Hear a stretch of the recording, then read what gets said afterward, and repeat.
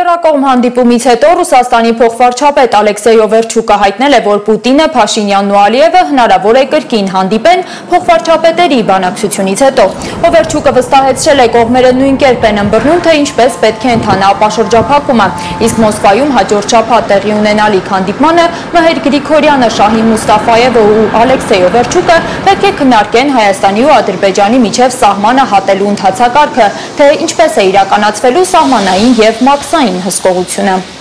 Տեխնические детали, но это очень важные детали. Դրանք տեխնիկական մանրամասներ են, բայց շատ կարևոր մանրամասներ են, քանի որ խոսքը Ադրբեջանի եւ Հայաստանի միջև սահմանը հատելու կարգի մասին է, այն մասին, թե ինչպես է իրականացվելու սահմանային, մաքսային եւ այլ տեսակի հսկողությունը։ Սա շատ կարևոր է։ Կոնկրետ կխոսենք, թե ինչպես է լինելու հատման կարգը եւ ինչ ընթացակարգեր են լինելու։